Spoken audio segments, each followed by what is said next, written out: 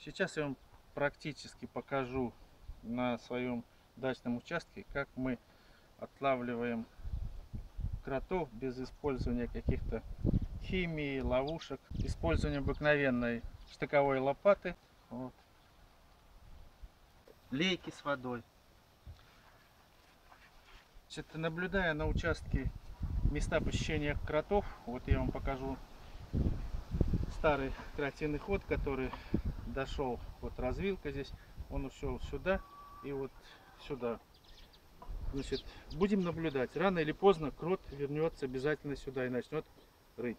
Значит, как только я замечу, что он пришел коп, начал, а это будет заветно по свежей груды земли, которую он будет отваливать, я беру свои инструменты, сантиметров 15, 20, 30 сзади по ходу крота с силой втыкаю штыковую лопату. После этого крот у нас оказывается в западне. Естественно, он будет пытаться, возвращ... правило, возвращается обратно, но ход ему будет перекрыт. Далее я беру лейку с водой, прокапываю около лопаты дырочку и начинаю туда лить воды. Как только ход будет заполнен водой, крот либо выскочит сюда, либо сюда, либо вылезет сюда.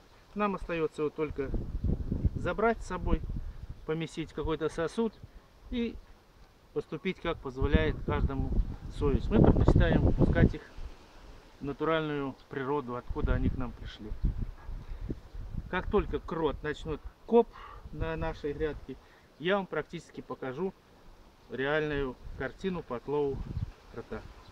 Значит, я на грядке с капустой обнаружил, что к нам пришел гость крот и копает свои ходы. Подготовил инструменты, с помощью которых я его буду отлавливать. Это лейку с водой, штыковую лопату и сосуд, который, в который я буду помещать пойманного крота. Значит, в связи с тем, что крот очень осторожный зверек, он может реагировать на шаги разговор. Далее при подходе я вам буду показывать, где он роет. Запись будет беззвучная.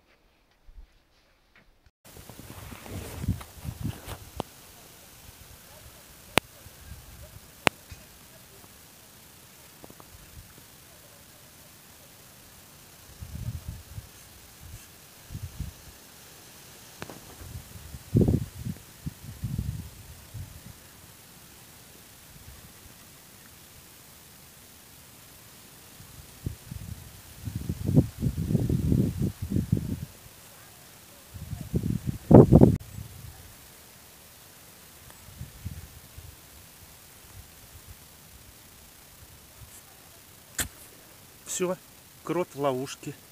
Он находится вот под этой кустом. Видите? Вот, вот видите, э, он охотился за червем, который вылез. Далее, вот он пытается выйти из лопаты, но льем сюда же воду.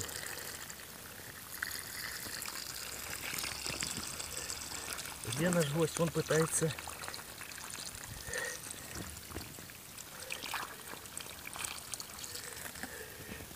Ах, он дальше пошел.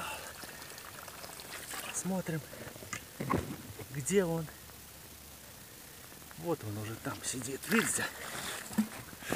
Земля очень... Вот он уже пошел, видите? Все, вода сейчас, и он... Смотрите, как усиленно он поддадим. Вот он. Вот он, вылез, видите его? Вот он. Вот его. Опа. Куда? Ну, забираем его отсюда. Вот, сейчас мы его заберем. Продолжает копать. Ну, что ж делать? Вот он, видите? Мы его поймали. Вот он. Небольшой маленький кротик. Видите? Земля после полива рыхлая, и поэтому он у нас сразу не выскочил. Если бы у него было трудно копать, естественно, он сразу выскочил пулей. Так мы его извлекли из земли. Ну что ж, охота у нас удачная сегодня. дальше несем его выпускать в природу.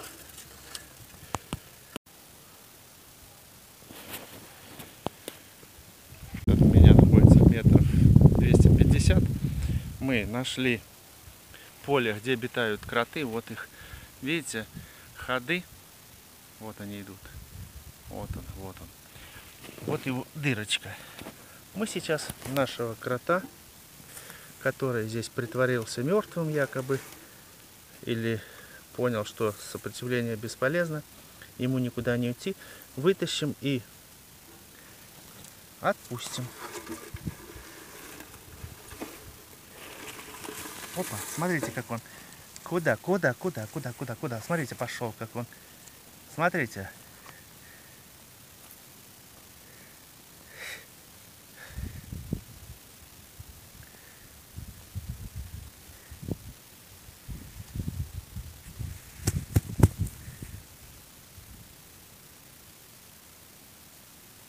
Все.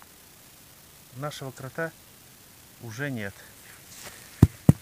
Видите? Его след. Он ушел вот в чужой ход. Уживется ли он с хозяином этим кротом, я не знаю. Ну, природа их рассудит. Либо уйдет сильнейший, то есть сильнейший останется, а слабейший уйдет, либо они будут вместе здесь существовать. Когда мы выпустили крота, мы пришли на грядку и вместе, место, где он сошел к нам с соседнего участка, мы притопчем его ход, чтобы он, его не использовали другие кроты.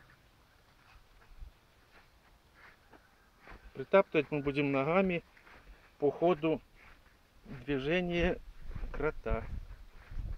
Но не вот так, потому что его не притопишь, а именно как шла его норка.